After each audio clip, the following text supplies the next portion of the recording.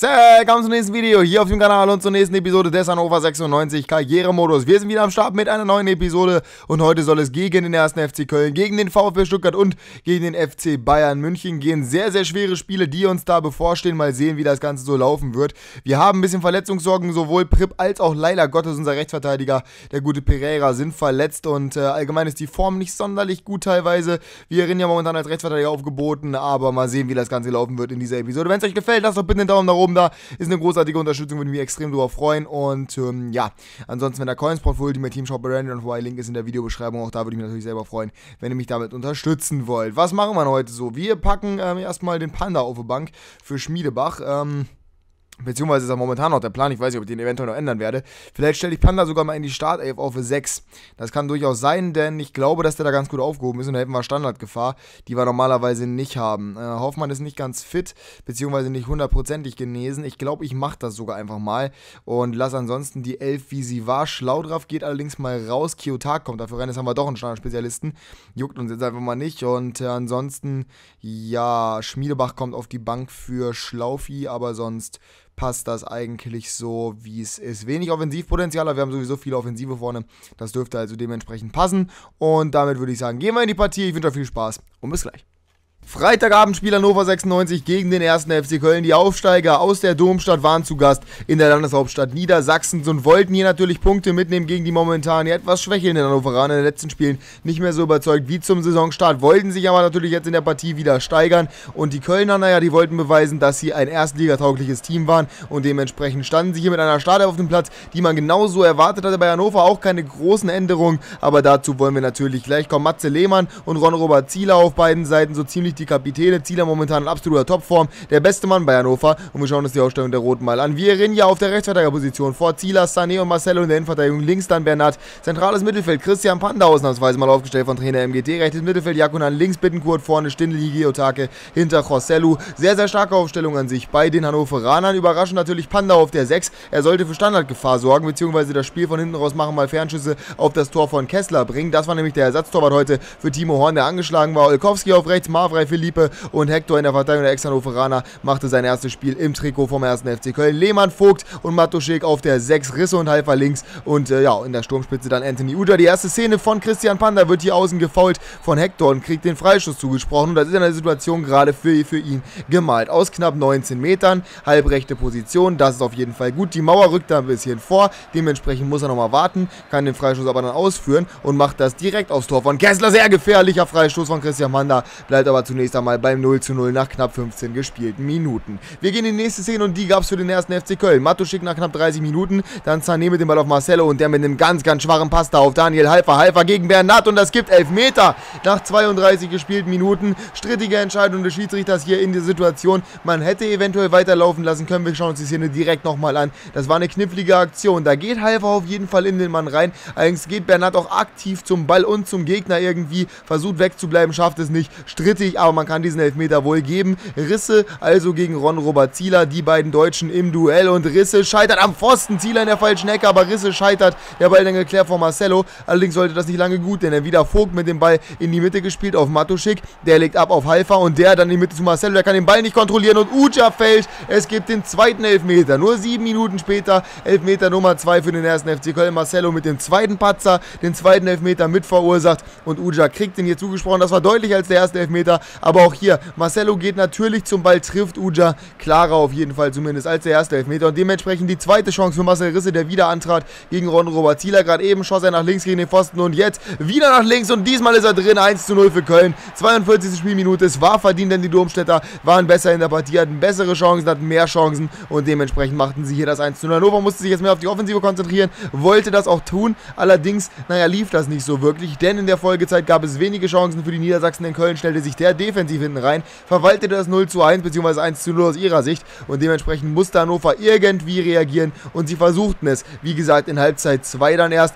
Wir gehen mal in die erste Szene, die dann aber ein Konter war für den ersten FC. Der Ball kommt hier auf Matuschik. Vierinha mit dem Hackenfehler. Nochmal Matuschik mit der Chance mit rechts und Zieler mit einer klasse Parade. Hält hier das 0 zu 1 für Hannover fest. Es gab da einen Wechsel. Albonos kam für Jakunan. Dementsprechend rückte Vierinha vorne. Das System wurde umgestellt auf 4-4-3. Das heißt deutlich offensiver und es kam tatsächlich zu Chancen für Hannover. Bittenkurt hier setzt sich Außenklasse Klasse durch gegen die Grätsche. Die Flanke kommt auf Rossellou. Bogenlampe und auf die Latte. Da wäre Kessler chancenlos gewesen. Es blieb beim 0 zu 1 nach 86 Minuten. Dann aber Albonos. Wie gesagt, eingewechselt mit dem Ball auf Vierinja. Der spielte außen rechts, setzt sich gegen Hector durch. Mit seiner Schnelligkeit geht in den 16er. Niemand greift ihn richtig an. In der Mitte steht Rossellou. Und das 1 zu 1.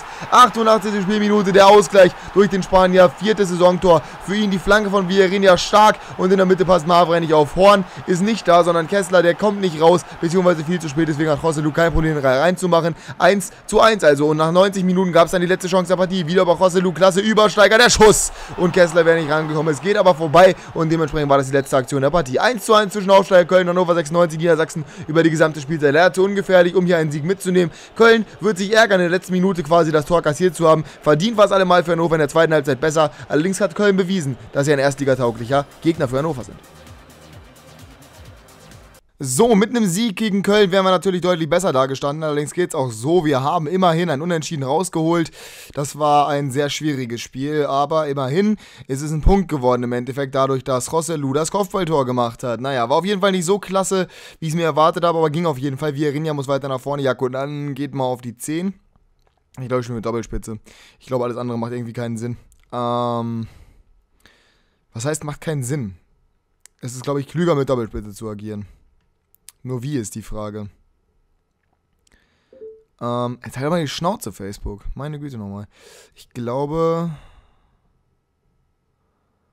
Ja, 4-1-2-1-2 vielleicht. Dann mit Jakonan im Sturm, Stindl auf A10, Vierinja und Bittenkurt außen und auf A6 äh, diesmal Schmiedebach wieder. Panda hat zwar gut gespielt, aber mit ähm, beispielsweise einem Okay, wenn Kiyotake draußen ist, ist wieder scheiße, ne? Aber egal, wir kriegen das auf jeden Fall hin mit den Standards und äh, so viel haben allgemein nicht. Von daher passt das einigermaßen. Band hat auf jeden Fall gut gespielt. Ähm, Prip können wir eventuell mal wieder reinholen. Den packen wir mal auf die Bank für ähm, Andrösen. Und auch Schlaudraff könnte eigentlich drauf.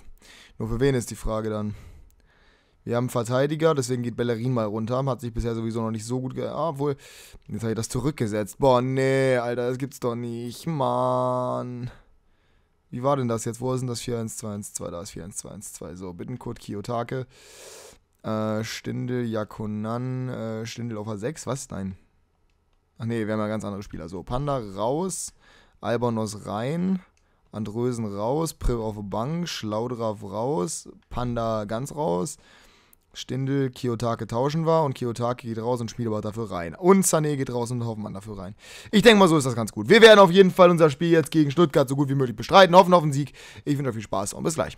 Hannover 96 war zu Gast beim VfB Stuttgart im Schwabenland in ja, der Mercedes-Benz Arena und hier wollte man Punkte mitholen, nachdem man gegen den Aufsteiger Köln nicht hatte gewinnen können. Die Roten also angereist, um drei Punkte aus Stuttgart zu entführen. Stuttgart wollte das nicht zulassen, stand noch vor den Roten aus Hannover mit zehn Punkten aus den ersten fünf Spielen. Sehr gut in die Saison gestartet, Hannover mit neun Punkten. Dementsprechend hätten sie vorbeiziehen können am VfB Stuttgart mit einem Sieg. Das Stadion gut gefüllt, schöne Choreografie der Stuttgart-Fans. In der letzten Saison hatten sie so leiden müssen. Dieses Jahr lief es bisher sehr, sehr gut und sie wollten natürlich auch heute wieder angreifen. Bei Hannover gab es eine Änderung. Sie spielten im 4 1-2-1-2-System, das heißt mit Doppelspitze Jakunan neben Rosselu in der Sturmspitze, rechts dann Vierinja, auf der linken Seite Bittenkurt Stindl auf der 10 und auf der 6, ja, Manuel Schmiedebach. Sven Ulreich im Tor bei, ja, eben dem VfB Stuttgart, der sollte die Tore von Jakunan und Rosselu verhindern. Auf der anderen Seite lag das Augenmerk natürlich auf den beiden Stürmern, auf Jakunan und eben Rosselu. Steffen Schwurbel, der Schiedsrichter der Partie, pfiff dann an und dementsprechend durften die beiden Stürmer ihre erste Aktion starten und das Ganze nach ungefähr 12 Minuten. Hier Bittenkurt auf Rosselu. Übrigens hatte Vierinja, der neue rechte Mittelfeldspieler, im letzten Spiel den Tor vorbereitet in der 90. Minute. Hier zieht er in die Mitte und Harnik kommt ganz blöd dazwischen die Grätsche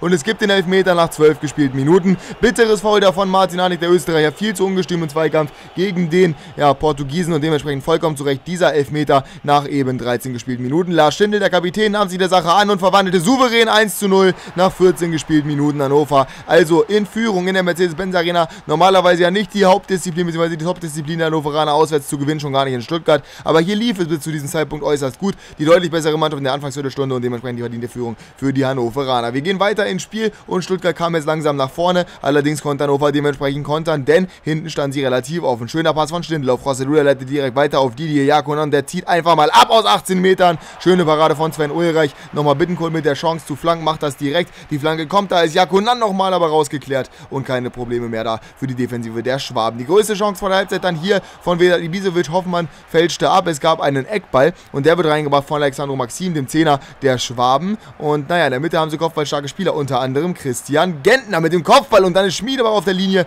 kann diesen Ball gerade noch raushalten aus dem Tor. Es blieb beim 0 zu 1 und in der zweiten Halbzeit kam Stuttgart dann deutlich besser in die Partie. Vom Publikum nach vorne gepusht, Hanik mit dem Ball da in die Spitze, wunderbar reingetrieben auf Gentner und Gentner sieht die Lücke für Alexandro Maxim vollkommen frei vor Zieler und es steht 1 zu 1. 52. Minute die Schwaben also wieder dran und die Roten hatten also die Führung aus der Hand gegeben. Maxim mit seinem ersten Saisontor. Und sie hatten natürlich jetzt die Möglichkeit hier irgendwie ein Comeback zu starten, das heißt das Spiel zu drehen. Hannover auf der anderen Seite wollte natürlich hier auch irgendwie jetzt wieder in Führung gehen, wollte die Führung nicht irgendwie komplett verloren geben, beziehungsweise den Sieg verloren geben, sondern versuchte weiter nach vorne zu spielen. Und sie schafften es auch in Form von Didier Jakunan. Setzt sich hier durch, wunderbar gegen Oriol. Romeo der Leiger von Chelsea, der Ball auf José Lu, der setzt sich klasse durch, der Schuss aus 18 Metern, er ist drin, 1 zu 2. Hannover also wieder in Führung, 63 Minuten durch. Und die Roten durften zum zweiten Mal in der Partie jubeln. Ungewöhnlich, dass sie zwei Auswärtstore schossen, allerdings hatten sie ja so einer Trainer im GT bereits in Mainz geschafft, wo sie ja 3-0 gewonnen hatten und naja, hier war José Lu halt der Nutznießer der Defensivfehler von VfB Stuttgart, allerdings,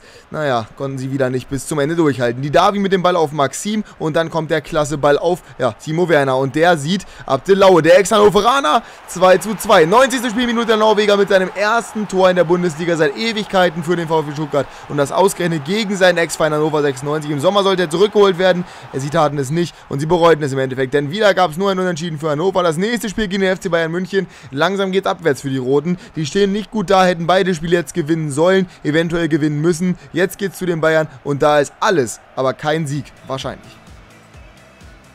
Von den Chancen her war es ein gerechtfertigtes Unentschieden. Das war natürlich jetzt bitter trotzdem für mich, dass ich das in der 90. Minute noch verkacken musste. Aber so läuft es halt teilweise. Stuttgart ja auf der Tabellenplatz 5. Von daher ist das nicht so schlimm. Ähm, mal sehen, wie es jetzt gegen Bayern laufen wird. Das wird jetzt auf jeden Fall ein extrem schweres Spiel, zumal wir auswärts sind. Das heißt, äh, ja, das wird nochmal schwieriger, als es sowieso schon ist gegen äh, die wohl, ja, sagen wir mal, erst, zwei, drittbeste Mannschaft der Welt. Müssen wir mal schauen, wie das Ganze laufen wird. Die Aufstellung wird nur minimal verändert. Und zwar bleibt, äh, da stehen, Schmiedebach bleibt auch. Bernat geht raus, der hat mir überhaupt nicht gefallen. Dafür kommt Prip rein, geht auf links. Und äh, ich glaube, ich packe Jakun. Ja, nee, Jakunan lasse ich mal drin. Briand kann ich dann später aber noch bringen, genauso wie Kiyotake. Ich würde sagen, dann lasse ich das einfach so. Gut, passt. Und äh, ich würde sagen, jetzt gehen wir ins Spiel gegen den Rekordmeister. Ich wünsche euch viel Spaß. Ja, und bis gleich. Der Rekordmeister natürlich auf Tabellenplatz 1 und heute ging es gegen Hannover 96. Die Roten waren in die Allianz Arena gereist, um hier irgendwas mitzunehmen oder es zumindest zu versuchen, aber Bayern momentan die Übermacht in der Bundesliga, sogar auf internationaler Ebene momentan Spitze und bereits mit 18 Punkten aus den ersten 6 Spielen. Hannover auf Platz 6 nach dem Unentschieden gegen Stuttgart weiterhin auf Schlagdistanz zu den internationalen Plätzen. Allerdings am Anfang der Saison ist das ja nicht besonders aussagefähig und die Bayern, naja, bei denen schien das wiederum sehr aussagefähig, denn die waren auf Platz 1 und das vollkommen zu Recht. Manuel Neuer, Welttorhüter, Kandidat, dieses Jahr Weltfußballerkandidat, der beste Torwart der Welt im Kader bzw. im Tor beim FC Bayern Münchenheimer Schnitt, die leitete die Partie. Auf der anderen Seite, naja, Ron Robert Zieler, auch Nationaltorwart, auch Weltmeister und im Sturm wieder die Doppelspitze aus Jakunan und natürlich Rosselu, die wollten für Torgefahr sorgen. Mal sehen, ob sie das geschafft haben gegen Manuel Neuer. Das ist immer relativ schwierig, vor allem auch gegen die Defensive der Bayern und wir schauen direkt mal rein in die erste Szene, die natürlich für die Bayern Offensive war. Alaba mit dem Freischuss nach knapp 14 Minuten, der Kopfball von Martinez, da ist dann Pizarro an die Latte. Das war ein guter Kopfball von Hirana, der in der Startelf stand, mehr als überraschend. Lewandowski nicht im Kader, beziehungsweise nicht in der Startelf und es ging weiter mit Chancen für den Peruaner. Alaba hier mit der Klasse, mit dem Klasseball auf Rode und der scheitert erstmal an Zieler. Da war nochmal Pizarro, kommt aber nicht mehr an den Ball ran. Dementsprechend bleibt es bei 0 zu 0. Weiter aber der Peruaner, Doppelpass hier mit Alaba freigespielt. Wunderbar gegen Zieler und wieder ist der deutsche Nationaltorwart da. Macht das da klasse. Pizarro zur Verzweiflung gebracht und in der zweiten Halbzeit gab es eine Kopfballchance für Hannover. Stindel nach der Flanke von Albon aus und Neuer mit einer klasse Parade gegen den Kapitän der Roten, beziehungsweise den schwarz spielenden Hannoveraner. Klasse Kopfball von Stindel. Den musst du erstmal so machen gegen die defensiv starken Bayern und dann ist Neuer aber im Endeffekt da und hält diesen Ball fest. Dem weiteren Verlauf ging es nur noch aufs Tor von Hannover. Robben hier mit einer schönen Szene spielt den Ball in die Mitte. Wieder fliegt Pizarro vorbei. Da ist aber Philipp Lahm, der versucht einfach mal. Der Sechster, der Kapitän der Bayern. Aber Zieler ist wieder auf dem Posten. Und dann kam es, wie es kommen musste. Schweinsteiger mit dem Ball in die Spitze auf Götze. Der macht das da gut alleine. Pizarro Pizarro, wieder scheitert er an Zieler, aber da ist dann plötzlich lahm, weil Albonos über den Ball springt, beziehungsweise unter Ball durchspringt. Und da macht er das Kopfballtor, der kleine Kapitän der Bayern, wunderbarer Kopfball, wunderbar platziert, allerdings war das auch nicht sonderlich schwierig aufs leere Tor, denn Albonos sprang an den Ball vorbei, Zieler war noch irritiert, beziehungsweise abgelenkt von seiner Rettungstat da gegen Pizarro, die er klasse gemacht hatte, aber naja, für Lahm ist das dann nicht schwierig, diesen Ball noch ins Tor zu bringen. Bayern machte dann noch weiter, hatte die einzigen Chancen im Verlauf der restlichen Partie, Robben wieder über außen geschickt, der machte da auf der linken Seite heute viele Probleme, die Flanke auf Müller im Rückraum und der versucht nochmal mit dem Ball in die Mitte auf Philipp Lahm, der kann sich wieder durchsetzen, da ist dann nochmal Robben auf der anderen Seite, nochmal Lahm mit links und dann ist da Stindel dazwischen, verhindert hier ein schlimmeres Ergebnis, es blieb beim 1 zu 0 für die Bayern, Hannover hatte sich gut präsentiert, defensiv sehr stark gestanden, für ein Tor. Hat es nicht gereicht, aber immerhin hat man sich nicht blamiert gegen die wohl beste Mannschaft der Welt. Neuer hatte eine richtig gute Parade gezeigt gegen die einzig gute Chance von Hannover, die müssen sich jetzt langsam wieder steigern. Mit so einer Leistung, kann man auf jeden Fall gegen andere Teams aus der Bundesliga gewinnen. Bayern ist die Spitze der Liga.